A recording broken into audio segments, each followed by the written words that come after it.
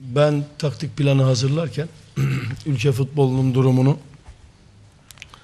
oyuncularımızın fiziksel ve mental durumunu değerlendirerek eee, bu durum içerisinde en uygun taktik eee, ve oyun düzen- düzeniyle oynamayı tercih ettim.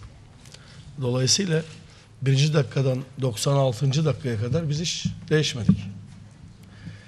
Zaten iki oyuncuyu da mecbur değiştirerek hamle şansımız da kalmadı. O da bizim herhalde ki en büyük talihsizliğimiz oldu.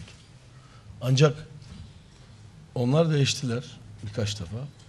Hatta son 20 dakika tamamen yüksek top veya düşen top. Ki onları da sıkıntı çekmedik ama artık kalecinin kucağına giden bir topun birinin kafasına değip de huntelerdi galiba. Ee, açıkçası tabii Hollanda ile burada oynamak çok kolay bir şey değil. Dünya üçüncüsünden bahsediyoruz. Önce bir defa e, kalemizde fazla pozisyon görmeden istedikleri kadar oynama sorun yoktu bizim için. Kendi alanlarında çevirmelerinin bir sakıncası olmadı bize. Her tarafı iyi kapattık. Çok da iyi çıktık kontrata.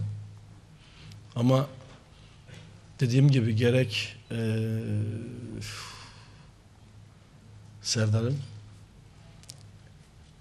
çıkması hiç aklımızda yok. Çünkü başka bir hamle beklerken onu yapmak zorunda kaldık. Gerek Burak'ın ikisi de bize başka mecburi işler yaptırdı. Yani o dakikalarda oyunu durdurma imkanımız bile olmadı. Buna rağmen oyuncularımı kutluyorum. 5 puan biz, 7 puan Hollanda.